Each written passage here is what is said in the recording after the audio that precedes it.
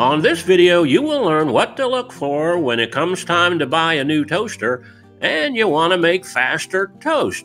And you'll also learn why this four slot toaster is not the best choice for fast toast.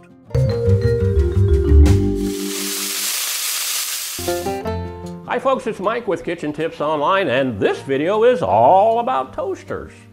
And on this video, I'm going to share with you the number one thing you need to know you absolutely must look for if you want to buy a fast toaster. Now, if you're new to the channel, I invite you to have a look around and check out some of our other videos and consider subscribing. And to my regular subscribers, I'd like to say, welcome back, guys. Let's take a look inside a typical toaster. Now, you might be surprised to learn that when you adjust the control on your toaster, you're not adjusting the temperature inside the toaster, you're actually adjusting the amount of time the heating elements are on. Since the electrical supply delivered to toasters remains constant, the only way toaster manufacturers can make a toaster hotter is to decrease the resistance of the heating element. Heating elements in toasters are rated in watts.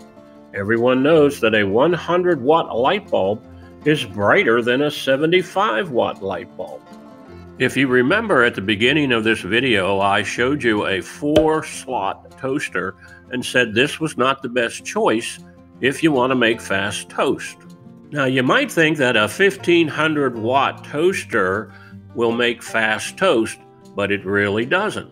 And that's because a four slice toaster that's 1500 watts has to divide the wattage into the two sections for making toast.